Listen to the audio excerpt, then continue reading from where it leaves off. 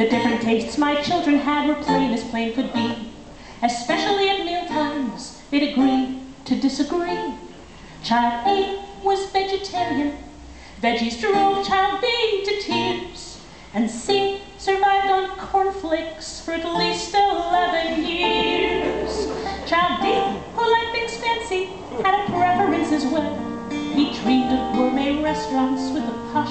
Poshest clientele. But ever since they moved out, seems the fights come to an end. Cause whenever they feel strapped for cash, on this you can depend. What do you do when the rent is coming due and you spent a bit too much down at the bar?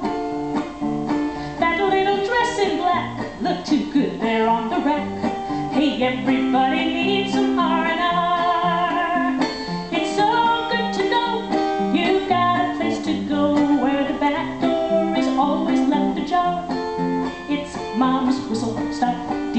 Delicious, short order, nutritious, free food bar. Yes, yes, folks today must learn to pay their way, but some may find old habits tough to break. The meals they can afford can leave a mighty bored when the folks' freezer is stocked with T-bone steak. It's so good to know you've got a place to go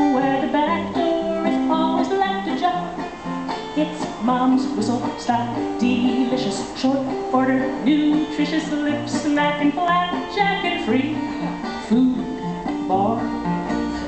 You'd think some angry words would have been spilt to give those kids a proper sense of guilt.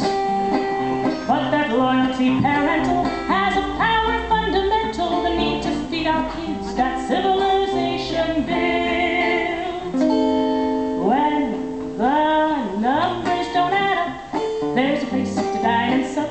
where the owners keep their cool about the tab.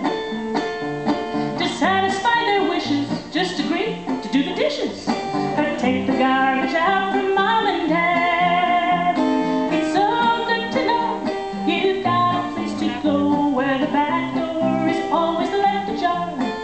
It's mom's whistle stop, delicious, short order, nutritious, lip snack and flapjack and menu. We too rest a while, home salad, no eating good, eating on your mark, a la carte. What's for dinner, mom's only free.